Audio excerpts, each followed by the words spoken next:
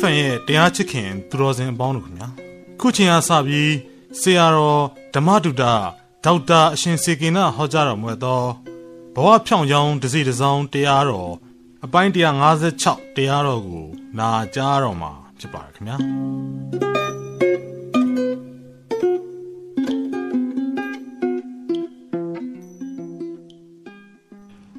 ဘဝဖြောင်းကြောင်းတစ်စီတစ်စောင်းလို့ပြောခဲ့တာ ကိုဘဝဖြောင်းအောင်နေခဲ့ပုံလေးတွေကိုကောင်းနေခဲ့တာဒီလည်းပါတာပါပဲပြင်ဖို့တွေပေါ့လေခုဆိုရင်အပိုင်း156ရှိသွားတစ်စီတစ်စောင်းတစ်စီတစ်စောင်းလေးတွေပြောတာဟိုဘဝဖြောင်းကြောင်းကိုဘာတွေပြောမယ်လို့ကြိုတင်ပြီးစီစဉ်ထားတာမျိုးတော့မဟုတ်ဘူးကြုံလာတဲ့ပုံမှာကိုကြုံခဲ့ရတာလေးတွေပြန်အမှတ်ရပြီးအဲ့လိုလေးတွေပြောတာများပါတယ်အခုဆိုရင်ဖုံမုံကိုအများသိတာက အာလူငယ်လူရွယ်လေးတွေကလေးသူငယ်တွေရင်ကျေးလိမ်မှာတရားစခန်းဖွင့်တယ်ရာချီထောင်ချီတောင်းချီဖွင့်တယ်လို့အဲ့လိုသိထားကြဖုံမုံစီရောက်လာရင်လိမ်မာကြတယ်ရင်ကျေးကြတယ်ဒါကြောင့်မို့တရားစခန်းတွေလည်းပေးဝင်ရတယ်ပေးဝင်ခြင်းရတယ်မိဘတွေကဒီဖုံမုံနဲ့တွေ့ရင်ကလေးတွေကရင်ကျေးသွားတယ်လိမ်မာသွားတယ်အဲ့လိုပြောကြတာပေါ့လေအဖုံဖုံကထူးထူးခြားခြားကြီးဟိုလိုတင်လို့ဒီလိုတင်လို့ရဟုတ်ပါဘူး ကိုကိုလည်းပဲဒီအရွယ်ဒီဖြတ်တန်းလာတာအခုဒီအရွယ်ရောက်နေဒီအရွယ်ဒီဖြတ်တန်းတော့ကိုယ်စိတ်ကိုကိုပြအမှတ်ရတယ်။ဟောသူတို့လေးတွေဒီအရွယ်ဖြတ်တန်းနေတဲ့အချိန်မှာလဲဒီလိုစိတ်မျိုးလေးတွေတော့ဖြစ်မှာပဲလို့အဲအဲ့ဒါလိုစိတ်ထဲတွေးမိခံစားမိတော့ကိုယ်တော့ကဖြစ်တဲ့ဟာလေးတွေကိုဘာလို့ချင်တယ်လဲကိုဘာဖြစ်ချင်တယ်လဲဒါလေးတွေကိုအသာလေးလက်ရောညီတွေပဲခေါ်ရမှာပေါ့လေ ဟိုကောင်းတဲ့ဘက်ကလေးတွေကိုအသာလေးညွန်ပြလိုက်ယုံပဲဆွဲခေါ်သွားလိုက်ယုံပဲဘေးကစောင့်ကြည့်လိုက်ယုံပဲအဲအဲ့ဒါလိုမျိုးလေးတွေပဲဘုံဘုံကအဲလုံးတယ်ပဲပြောပါစို့လေလိမ္မာရာယင်ကျေးတာကတော့သူတို့တတ္တိနဲ့သူတို့လိမ္မာယင်ကျေးကြတာပါသူတို့မှလည်းပင်ကိုတတ္တိကလိမ္မာယင်ကျေးတဲ့တတ္တိရှိပြီးသားပါပဲတဘောဆိုပါစို့အခုဘုံဘုံတရားစခန်းနေဖွင့်တဲ့အခါမှာရက်စင်နာကိုတော့ဘလို့စင်လဲ16နှစ်အစိတ်တက္ကသိုလ်ကျောင်းသူကျောင်းသားတွေကစ 10တန်းရှိရင်10တန်း10တန်းမရှိရင်9တန်းဒါပြီးမှ9တန်း10တန်း10တန်း9တန်းလောက်ပြီနောက်ပြီးတော့မှ9တန်း6တန်း3တန်း4တန်းပေါ့အဲ့တော့ရှေးရှေးကသူတွေကတက္ကသိုလ်ကျောင်းသူကျောင်းသားတွေ16နှစ်အစိတ်အရွယ်တွေဟာပြန်လှုပ်အားပေးခြင်းနေနောက်အတုတ်တွေနောက်အတုတ်တွေနောက်အဖွဲ့တွေကြတော့သူတို့ပြန်ပြီးတော့သူတို့ညီတွေညီမတွေကိုလှုပ်အားပေးတယ် အဲ့လိုပဲ10တန်းနေအဲ့လိုပဲ9တန်းနေဒီလိုပဲလှုပ်အားပေးကြတာ9တန်း10တန်းနေဒီလိုပဲအဲ့စရာကောင်းတော့9တန်း10တန်းလေးတွေတောင်3တန်း4တန်းမှလှုပ်အားပေးကြလှုပ်အားပေးကြဒါအခုခုဒီလိုဟောလှုပ်တာပေါ့လေဘာအကျိုးများတုံးဆိုတော့သူတို့တုံးကလက်ဆေးပြီးစားဇွန်ခင်းနဲ့အသာထိုင်စားရတာဟာနောက်တန်းနေနောက်တန်းနေလှုပ်အားပြီးတော့အိုးမရရအောင်ထိ6တော့တူအောင်ထိလှုပ်လာတဲ့ဝေယဝဆာတွေဆိုတော့ ဩဒိုးတုံကဒီလိုပင်မခံပြီးအကိုကြီးတွေအမကြီးတွေဒကာဒကမတွေဥတွေအတော်တွေကလှုပ်ပေးပါလားလို့ကိုချင်းစာတတ်သွားတာကိုချင်းစာတတ်တဲ့စိတ်တွေပေါ်လာပြီအဲ့ဒါကြောင့်မပိုးလိမ်မပိုးရင်ကြီးတယ်ပြောရမှာပဲအဲလှုပ်အပ်ပြီးတဲ့ဆိုတဲ့စကားလုံးကိုတော့တချို့ကဒီလိုပဲသုံးကြတာပဲလေမကြိုက်တာတော့လေမကြိုက်တဲ့လူရှိမှာပေါ့လှုပ်အားကိုပေးတယ်ဆိုတာလူတာဌာနပဲကိုစွမ်းနိုင်တဲ့လှုပ်အားကိုကိုလူတာလှုပ်အားတယ်မဟုတ်ပါဘူးတချို့ဆိုရင်အသိဉာဏ်အားတွေနဲ့လူတာပေါ့ အဲဒါလေးတွေမြင်လာတော့ဒါလေးတွေစိတ်ထဲပေါ်လာတော့ဘုံဘုံငယ်တုန်းကအကြောင်းပြန်စိတ်ကရောက်သွားတာကိုရန်ဆယ်တန်းပဲပြောပြမယ်ဒီကိုရန်အရွယ်ဆယ်တန်းအရွယ်ဆိုတာအထက်တန်းကြောင်းရောက်ပြီနော်အထက်တန်းကြောင်းရောက်တဲ့အခါကျတော့အထက်တန်းကြောင်းဆိုတာကြီးကိုကြည့်လိုက်ပါတချို့အထက်တန်းကြောင်းတွေက96ခွန်ရှိ930ပဲရှိတယ်တချို့အထက်တန်းကျောင်းတွေကြတော့တန်းတန်း3 4 5 6 9 10 90ရှိတယ် တချို့အထက်တန်းကျောင်းတွေကြမူလာတန်းကိုရှိတယ်တင်းနဲ့3 4 5ရှိရုံနဲ့မူဂျိုတောင်ပါခြင်းပါတာလေဒါပေမဲ့များသောအားဖြင့်ကတော့မူလာတန်းအလယ်တန်းအထက်တန်းဒီလိုသုံးခုတွဲတာများပါဒီ9တန်း10တန်းရောက်သွားတဲ့အခါမှာကြည်လေတန်း2တန်းနဲ့9တန်း10တန်း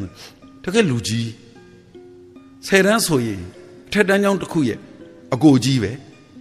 မင်္ဂလိဆိုလဲကျောင်းသူဆိုလဲအမအကြီးပဲ သူတို့မျက်လုံးနဲ့သူတို့ဟန်ပန်းကဒီကျောင်းမှာငါအကြီးဆုံးဟုတ်တယ်လေ10တန်းပြီးရင်တက္ကသိုလ်ရောက်တော့မှာကိုတက္ကသိုလ်မှာ first year ကို final year ကကြီးတဲ့မျက်လုံးမျိုးပေါ့အကိုကြီးအမကြီးတွေကညီတွေညီမတွေအစ်စ်တွေလာရင်ကြီးတဲ့မျက်လုံးမျိုးနဲ့သူတို့ဘလို့သင်ပေးမယ်ဘလို့စောင့်ရှောက်ပေးမယ်သူတို့ဘလို့ရှေ့ကနေပြမယ်ဆိုတဲ့အဲ့ဒါလိုမျိုးဖုံမတို့ကိုယ်တန်း10တန်းတော့အဲ့လိုငါဘလို့စားပြမယ်ငါဘလို့သွားပြမယ်ငါဘလို့ရက်ပြမယ်ငါတို့ဘလို့ပြောပြမယ် ကိုကိုလူကြီးလေဆယ်တန်းဆိုတာကဝါစုသင်္ကန်းကတ်တွေဆိုဥဆောင်ရပြီဆရာဆရာမတွေကဒီဆယ်တန်းတွေပဲဥဆောင်ခိုင်းတာလေကျောင်းဆရာကြီးကလည်းဒီဆယ်တန်းတွေပဲကထိန်သင်္ကန်းဆိုလာပြီဟိုးဖုံဖုံတို့စကိုင်းဆိုသတင်းကြောဟိုးကထိန်အမတ်1ကထိန်အမတ်2ကထိန်ဟိုအမတ်3ကထိန်အတန်းကျောင်းတွေအထက်တန်းကျောင်းတွေပေါ့အဲ့ဒါလိုမျိုးဆိုတော့ဒီပွဲလန်းသဘင်တွေကိုဝင်ဥဆောင်ရ အိုးလွတ်လပ်ရင်းနေပျော်ပွဲရွှင်ပွဲတွေလုပ်ရပြီဥဆောင်အာဇာနည်နေဟောပြောပွဲတွေလုပ်ရပြီဆရာကတော်ပွဲတွေဝင်းစီမံရပြီမိဘဆရာအသင်းနဲ့အဲကြတော့ဒီ9တန်း10တန်းဆိုတဲ့အရွယ်ဟာအကိုကြီးအဖအရာအမကြီးအမိအရာလူမျိုးစိတ်ဓာတ်တွေဝင်နေဟိုကျောင်းသားဘုံဘုံတို့က FT ရှိတာကိုတဒန်းကို90ပဲထား A B C D E F ဆိုတော့300ပေါ့ 10တန်း300ရှိတယ်ဆိုရင်ဟာ9တန်းက F 10တန်းကျတော့ GHT ရှိတယ်ဒီကျောင်းသား300 400မှာတကယ်အကိုကြီးအမကြီးစိတ်ဖြစ်ချင်တဲ့သူတွေလည်းရှိသလိုတာမန်သူလိုကိုလိုကျောင်းတက်တဲ့သူတွေလည်းရှိတာပါရှိတာပါဒါပေမဲ့ကိုယ်စိတ်နဲ့ကိုယ်နိုင်ပြီးပြောရင်ဒီအရွယ်တွေဟာကိုအကြီးဖြစ်နေပြီဆိုပြီးတော့စိတ်သက်ဝင်လာတာနဲ့အမျှအလုတ်ကိုလည်းလူကြီးဆန်ဆန်လှုပ်လာတယ်အပြောကိုလည်းလူကြီးဆန်ဆန်ပြောလာတယ် နေတာထိုင်တာကိုလည်းလူကြီးဆန်ဆန်နေထိုင်လာဒီနေရာမှာတစ်ခုပဲကွာတချို့ဆရာတွေကဆရာဆရာမတွေကဒီသားကြီးသမီးကြီးလို့ခေါ်ပြီးပေါ့လေဒီအရွယ်တွေဆိုတော့ဒီသားကြီးသမီးကြီးတွေကိုတကယ်လူကြီးနေရာကို တွဲခေါ်သွားရင်ဒီသားကြီးသမီးကြီးတွေတွဲခေါ်ခံရတဲ့သားကြီးသမီးကြီးတွေဟာဆိုးတဲ့စင်ရင်ဘလို့မှမပါတော့ဆိုးတဲ့စင်ရင်ဘလို့မှလကအဲ့ကောင်ပြစ်ထားလိုက်အဲ့ကောင်မလေးပြစ်ထားလိုက်အာအဲ့ဒီကောင်စိတ်လေးခိုးတောင်းနေအဲ့ကောင်ဘာလုပ်နေတာ အာအဲ့ဒီကောင်မလေးလက်လက်လက်လက်နဲ့ကြည့်မရပါဘူးလို့ဆရာဆရာမတွေကများကျောင်းသားတွေတဲကိုတယောက်နှစ်ယောက်သုံးလေးငါးယောက်စတဲ့အပြင်အဲ့ဒါလိုအမြင်ရှိပြီးတွဲမခေါ်ဘူးဆိုရင်သူတို့မှလူကြီးလို့စိတ်ဓာတ်မျိုးလည်းမပေါ်လာနိုင်တော့လူကြီးဖြစ်ချင်တဲ့စိတ်ဓာတ်မျိုးလည်းမဖြစ်လာနိုင်တနည်းပြောရင်တော့ဒီကိုရန်ဆယ်တန်းအရွယ်တွေဟာလူရဝင်ခြင်းတယ်လူရတွင်းမှလူရဝင်မှာ လူရတွင်းခံခြင်းတယ်လူရဝင်ခြင်းတယ်ဆိုတာကိုလူရတွင်းခံခြင်းတယ်လို့စကားလုံးပြောင်းလိုက်ဖို့ရှင်းတယ်လူရတွင်းခံခြင်းတဲ့အရွယ်တွေမှာလူရတွင်းတာတွင်းတတ်လို့ဆရာတွေအများလူရတွင်းတတ်ရင်ဒီကလေးတွေလေအမှန်တော့ဖြစ်နိုင်ရင်တကြောင်လုံးက10တန်းတွေကိုတကြောင်လုံးက9တန်းတွေကိုလူရတွင်းရဒါ9တန်း10တန်းပြောတာနော်9တန်း10တန်းဆိုရင်အလေတန်းကြောင့်မှ9တန်း10တန်းကဒါလူကြီးပဲ တရဏတန်း3တန်း4တန်း5တန်း6တန်း9တန်း10တန်းဒါလူကြီးဖုံမမှတ်မိသေးတဲ့သကောင်စင်းရင်10တန်းလုံးကသကောင်စင်းကောက်ရတယ်83ခုနှစ်နဲ့တူတယ်နောက်83ခုနှစ်တခါပေါ့83ခုနှစ်မှာ10တန်းသကောင်စင်းကောက်ရတော့အိုးအိမ်ကအထုပ်အပိုးတွေထဲ့ပြီးတော့လေလွတ်လွတ်လပ်လပ်သွားတာရွာတွေဟိုးစကိုင်းပြောမှုပါတယ်ဘဝဖြောင်ချောင်းမှာပဲတလိုင်းတို့ ကြောက်ပဒံကန်ကြီးကောင်ဟိုဘက်တလိုင်းဆိုတဲ့စကိုင်းမြို့နယ်တွေကအဲ့ဒီရွာတွေမှာဒီရှစ်တန်းဆိုတာအိမ်ကကလေးပဲလေဟေးတကောင်စင်းကောက်ရမှာလေဟေးဆိုတော့အထုပ်နဲ့အပိုးနဲ့လဲနဲ့အမဲလမ်းလျှောက်တာကလူကြီးလျှောက်လျှောက်တာပေါ့အဲဒါလေးတွေကိုကြုံခဲ့ရတာပါလူရသွင်းခံကျင်တဲ့ကလေးတွေကိုလူရသွင်းပေးတိုင်းဘယ်လောက်လူရဝင်လိုက်မလို့ဒါကိုရန်ဆယ်တန်းတော့ကခံစားခဲ့ အိမ်မှာကြတော့မိသားစုမှာကြတော့ကိုကအကိုအကြီးဆုံးဆိုတော့လူကြီးစိတ်ကဝင်ပြီးသားအမေလှုပ်တဲ့လူကလည်းလူရတွင်းအဖေလှုပ်တဲ့လူကလည်းလူရတွင်းငါတငါသားပဲလှုပ်လိုက်တော့ငါတငါသားပဲပြောလိုက်တော့ငါတငါသားပဲသွားလိုက်ပါလားကွယ်ဒါလူရတွင်းတာပဲအဲ့လူရတွင်းတာကိုလူရတွင်းခံရတဲ့အတွက်လူရဝင်လာတယ်လူရဝင်ခြင်းနေတဲ့အရွယ်မှာလူရတွင်းခံရတာတော့လူရဝင်တဲ့အလုတ်လုတ်ခိုင်းတာခံရတာတော့အရသာရှိတာမရှိ အဲအဲ့ဒါလေးဖုံမုံကမှတ်မိခဲ့တာကိုငယ်တုန်းကခက်တော့လည်းခက်သားပဲတချို့အမေတွေတချို့အဖေတွေကသားသမီးကိုအရွယ်ရောက်တယ်ကိုမထင်တဘာဝလူရမသွင်းညင်ကြနောက်ဆုံးကိုရှစ်တန်းကိုတန်းဆယ်တန်းရောက်နေပြီပဲထမင်းခွန်ကျွေးနေသေးတယ်ဆိုတာကိုသားသမီးကိုဖျက်ဆီးတာပဲလေကိုသားသမီးကိုဖျက်ဆီးတာလူရသွင်းပေးရတော့မှာကြီးချိုးပေးသေးတယ်တဲ့ဒီအရွယ်ကြီးကို ကိုသားသမီးကိုချစ်တာမဟုတ်ဘူးနှစ်တာလို့တို့ဖွားပြောသလိုတို့အမေကြီးပြောသလိုတို့အမေပြောသလိုပြန်ပြောရမှာပေါ့လေလူရသွင်းပေးရမှာအဲ့ဘုံဘုံကြီးကြီးလိမ္မာတရားစခန်းနေမှာဘာဖြစ်လို့သူတို့တွေလိမ္မာသွားတယ်လူရပေးသွင်းတာလူရသွင်းခံရသွားတာကိုကြည်နေတာဒီရှစ်တန်းကိုတန်းဆယ်တန်းလူရသွင်းခံနေတယ်နော်စိတ်ဓာတ်ကိုอ่ะနောက်ဆိုငါသားရဲ့အဖေလှုပ်လို့တော့ရမှာဘူးငါသားလှုပ်ပြစမ်းလှုပ်ပေးစမ်း လှုပ်ပေးပါလားကွာသမီးရဲ့သမီးတို့မှလှုပ်တတ်မှာနော်သမီးတို့ခေကြီးနော်သမီးတို့မှဒါတွေနားလဲမှာအမေတို့ကဒါတွေနားမလဲဘူးနော်ဆိုဘလောက်စိတ်ထဲမှာကြည်နပ်သွားမင်းတို့မိဘမိဘညာတာမဟုတ်ဆရာဟာဆရာပဲငါသားငါသမီးငါတပည့်တွေပဲခိုင်းရမှာငါတပည့်တွေပဲအားကိုးရမှာဟေးဆိုဘလောက်ကြည်နပ်တော့အဲ့တော့ဖုံဖုံကတော့ဖုံဖုံမိဘတွေကဒီလိုကိုယ့်ကိုလူရသွင်းလာလို့ကိုယ်စိတ်ဓာတ်တွေပါဖြောင်းလာတယ် ဟိုလူကြီးဆန်လာတော့ကိုနဲ့တွေ့တဲ့သားတွေသမီးတွေအရွယ်ရောက်တဲ့သူတွေကိုလူကြီးစိတ်သွင်းပေးရတာမဟုတ်တော့ဘူးလူရသွင်းပေးလိုက်ရအဲ့ဒါဖုံဖုံရဲ့ဘဝဖြောင်းတော့တစည်းတစ်စောင်းတွေကဖုံဖုံအတွက်လူရသွင်းခံရတာဟာတခုပါပဲခုလည်းပဲပြောနေကြတာပေါ့ဘဝဖြောင်းကြောင်းကိုအကြောင်းပြုပြီးခုသူများပြောတာလေးပြန်ပြောသွားရင်လမ်းနေစီကမ်းမရှိဘူးမြင်းကြလည်းမကူ ဖုံဖုံတို့ဆိုငယ်ကလေးကမြင်းကြကူတယ်ဘာဖြစ်လို့ကြောင်းဘဝမှာအလံလေးကင်ပြီးတော့ဆရာဆရာမတွေကကားတွေတားပြီးတော့ပို့ပေးတယ်တခါတည်းဆရာဆရာမတွေလုံနေအာဒီချက်ချက်ကျွန်တော်လုံမယ်ကျွန်တော်လုံမယ်ဆိုအလံလေးကင်ပြီးလမ်းပြပေးရတာကိုကိုကြည်နပ်နေတာအမေကိုဒီလိုအလံလေးအောက်ဆိုင်တားလိုက်လို့ကားများရပ်သွားရင်အမေကိုကိုဝန်းတာတာပေါ့ဟိုဖြစ်ခဲ့တယ်နော်အမေငါပဲဆိုးလေငါ အမေငါလှုပ်လိုက်လို့ရပ်သွားတယ်ငါစကားနားထောင်တာပဲလို့အဲ့တုန်းကအဲ့လိုစိတ်ဒီမပေါ်ပေမဲ့လေဟိုကိုမသိပေမဲ့ပေါ်တော့ပေါ်ခဲ့တာပေါ့မသိပေမဲ့ဒါလေးလောက်ရတာကိုအရာဒီဘက်ကကျောင်းသူကျောင်းသားတွေကြတော့လာဟေးအဲမဲအလံလေးနဲ့ဒီလိုခေါ်လိုက်ရင်သူတို့ကတန်းခုထိမျက်စိတွေမြင်သေးတယ်ကျောင်းလုံးကြီးအစိမ့်လေးတွေနဲ့လွယ်အိတ်လေးတွေနဲ့လွယ်လေးဖြတ်လာအဲ့ဒါလောက်ရတာကိုကြည်နပ်နေတာခုမှဖုံဖုံပြန်ပြောရင်းနဲ့တတိရတယ်ခုထိဖုံဖုံလမ်းကြားပဲကူးပဲလမ်းကြားမဟုတ်ရင်မကူးဘူးဆိုတာ အဲ့ဒီ10တန်းတော့ကအဲ့ဒီ9တန်းတော့ကအဲ့လိုကျောင်းဘဝမှာလမ်းကူးတာလေးကိုအဲလှုပ်အားပေးခဲ့လို့လားလို့မသိဘူးဆိုတာသိတယ်အခုသိကြသွားပြီကိုယ့်ဒီလှုပ်ကြီးလှုပ်ခဲ့တာလေကိုကိုယ်တိုင်ကသူများကိုစီကန်းရှိအောင်ဥဆောင်ခဲ့ရင်ကိုကဒီစီကန်းကိုဖောက်ကိုမဖောက်တော့ဘူးဒါပါတဘာဝဒါတဘာဝစိတ်ထဲမှာစိတ်ထဲမှာအဲ့ဒါလေးပြန်ပေါ်လာတယ်ဘုံဘုံဘွားဖြောင်းအောင်ပြောတယ်ဆိုတာအဲ့ဒါလေးတွေပါပဲ ဒီလှုပ်အားပေးဆိုတဲ့စကားလုံးပြောတော့တာလှုပ်အားပေးစကားလုံးကိုမကြိုက်ကြတဲ့သူတွေကဟိုပြောဒီပြောပြောချင်ညတာနိုင်ငံတကာလာဖွင့်တဲ့အကြောင်းတွေသူတို့ရှစ်တန်းနေကိုးတန်းနေဆယ်တန်းနေသူတို့ပတ်စံစုပြီးတော့အာပရာဟိတဟိုတွေသွားလှုပ်လိုက်ဟိုနွမ်းပါတဲ့စီတွေသွားလှူလိုက်ဒါလှုပ်အားပေးတွေပဲသူတို့ကိုယ်ရငင်ကဒီတို့သူတို့ဒီလိုနွမ်းပါတဲ့သူတွေကိုထောက်ပံ့တဲ့အလေးအကျင့်လုပ်ပေးတဲ့အတွက်ကြောင့်သူတို့နွမ်းပါတဲ့ဘဝမရောက်ချင်တဲ့စိတ်ပေါ်သွားတယ်အမြဲတမ်းသူတို့သူများကိုကူညီချင်တဲ့စိတ် ပေါ်သွားတယ်ဒါရှေးတုန်းကအသုံးတော့ခုသုံးကြည့်ဒါလှုပ်အားပေးပါပဲ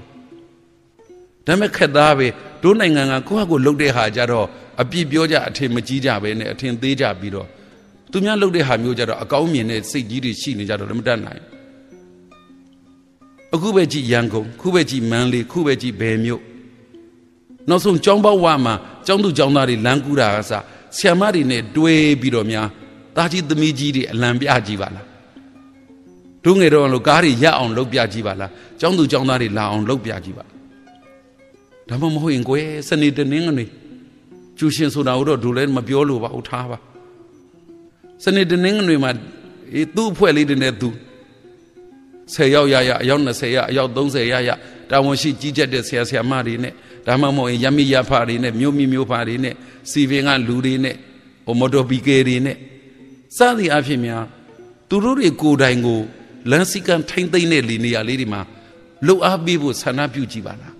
လှုပ်ချင်ကြတာပေါ့ဘုံဘုံကိုယ်စိတ်နဲ့ကိုယ်နိုင်ပြောရင်ကိုယ်လှုပ်ချင်တာပဲဒါဟောပြောပွဲကြီးတစ်ခုသူတို့ကိုလမ်းစည်းကမ်းဟောပြောတာရဲ့ဒါမှမဟုတ်အတန်းထဲမှာစာအုပ်ကြီးဘုတ်ကြီးချပေးပြီးတော့အာလမ်းစီကန်းတွေကိုသင်တာရဲ့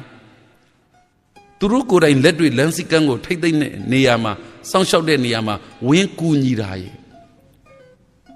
ဘယ်ဟာပို့ပြီးအကျိုးရှိမလဲ သုံးခုလုံးလုံနိုင်တော့အကောင်းဆုံးပေါ့တကယ်လက်လက်တွေလှုပ်ကြည့်ပါလားအဲ့ဒီကလေးကလူကြီးကိုကူညီတဲ့စိတ်ဓာတ်တွေပေါ်လာတယ်အဲ့ဒီကလေးကငယ်တဲ့သူတွေကိုစောင့်ရှောက်တဲ့စိတ်ဓာတ်တွေပေါ်လာတယ်အရေးကြီးတာဒီစိတ်ပဲဖုံဖုံတို့တော့ကြွားပြောပြောခြင်းပြောလို့ရတယ်ငယ်တဲ့သူတွေကိုကူညီခြင်းတာဘယ်တော့မှပေါ်လာခဲ့မှမသိဘူးဆိုခုသိပြီကြီးတဲ့သူတွေကိုဝိုင်းကူခြင်းတာဘယ်တော့မှပေါ်လာခဲ့တဲ့စိတ်ဓာတ်လည်းမသိဘူးလို့ပြောရင်ခုသိပြီ တကယ်လက်တွေ့ကိုဝင်းကူခဲ့တာဟုတ်အာကလေးတွေအန္တရာယ်များလိုက်တာကားတွေကအတင်းအရမ်းမောင်းတော့ဘလို့လုံမှာတော့ဘာလို့လို့ရှောက်တွေးနေတာတွေးနေတာတုံးလို့အပြစ်ပြောလဲပြောပေါ့ဒီကားမောင်းတဲ့သူတွေမှာသားသမီးမရှိဘူးလားတူတွေတူမတွေမရှိဘူးလားလူကြီးတွေလုံနေတာရွဲ့ပြီးအတင်းမောင်းရင်မောင်းမှာသားတွေသမီးတွေတွေးရင်သူတို့မောင်းဝမှာအောင်မလားစိတ်ဓာတ်က အလုံးဆိုးသွမ်းမှသာအတင်းတိုးမောင်းရင်မောင်းမှာပေါ့နောက်ပြီးတော့လူငယ်တွေကများလမ်းစည်းကမ်းကိုထိမ့်သိမ့်ပေးလူကြီးတွေကများရှက်ပြီးတော့လိုက်နာမလားတန်တခုမှတွေးမိတာပါဖုံဖုံငယ်တုန်းကတော့အိုးကားကြီးကိုကိုတားလိုက်ရရင်ကိုကြည်နဲ့လူရသွင်းခံရတာအမွေငါလို့လိုက်တော့ကုံကားကြီးရှေ့တုန်းကသုံးတန်ကားဆိုတာအကြီးလေဘလောက်ကြီးကြီးဟီးနဲ့လာလာမဲကိုကလက်ကလေးပြအလံလေးပြလိုက်ရပ်သွားဝန်းတာတယ်ဝန်းတာတယ်ငါတို့တို့တို့လူရသွင်းခံရတာဟုတ် လူငယ်တွေတအားအရေးကြီးပါလေလူငယ်တွေရဲ့အင်အားအား